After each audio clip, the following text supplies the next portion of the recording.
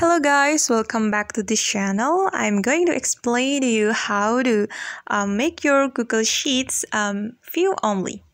And the first, uh, the first step, you have to open your Google Sheets um, on your Android mobile phone. Okay, open the Google Sheets.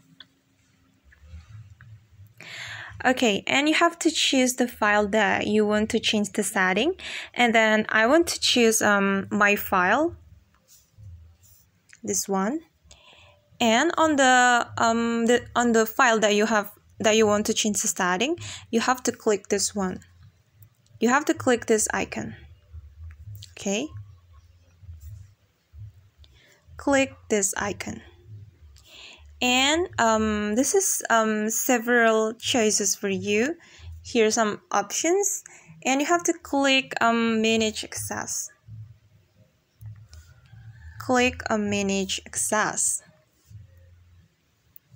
And after you click um, manage access you will see that um, my file is still restricted and I have to click change to change the setting. Click change. Okay and you have to click um, this one. Um, click this one and you have to choose anyone with the link choose anyone with the link okay. And you can see that anyone on the internet with this link can view. It means that you your file is already in the um, um, view only mode.